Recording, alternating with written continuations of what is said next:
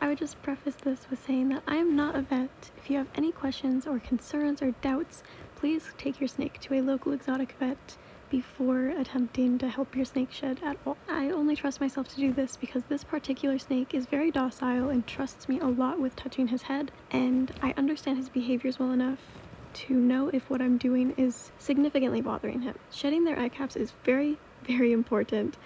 Failure to do so correctly can result in damage to their eyes and sometimes even blindness, so please be careful. Before even attempting to help your snake shed, soak your snake either in warm water or just in a humid hide for as long as possible really to really loosen up that stuck skin. Using a damp q-tip and starting in the direction that shedding would naturally occur in snakes, so in this case beginning at the mouth, which is how snakes normally shed, we're going to use the q-tip to roll up that skin to just get the shed started.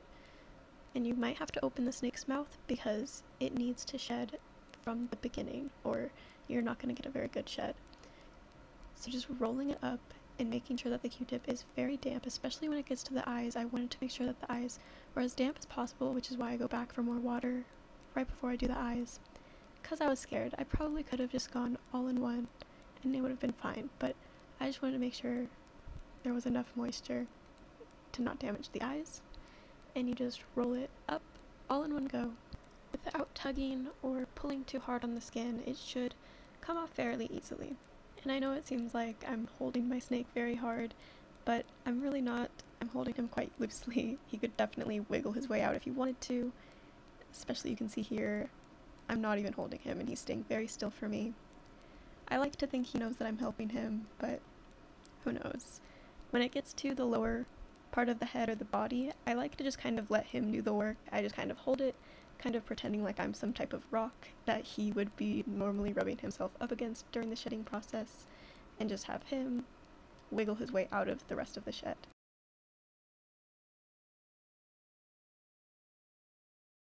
And there's his perfect little face. His eye caps are perfect in this piece. It looks great, and he did an amazing job letting me help him. Then for the lower jaw, it's pretty much the same situation you probably will have to open the mouth a little bit more. It is a little bit more difficult in my experience, but it's the same technique.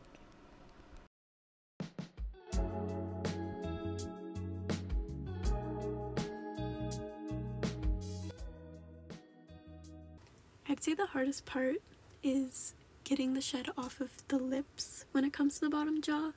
I'm not sure why, but it seems like it gets a little bit more stuck when compared to the top jaw. Plus, Cygnus seems a little bit more wiggly when it comes to the bottom jaw. I'm sure it's very uncomfortable for him, but sometimes we have to do uncomfortable things to help. Once it's past the mouth area, again, it's a breeze. I just let him do all the work, just hold on to it, let him wiggle his way out, and then it's done.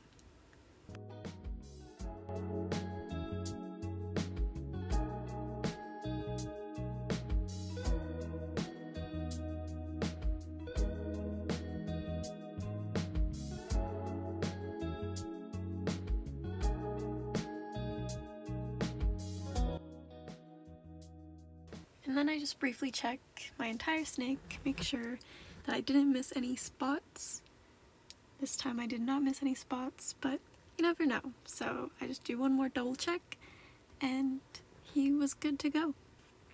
I hope this video helped somebody help their snake shed or at least make it seem a little bit less scary. You're gonna do great. I hope your snake is okay. And thank you for watching.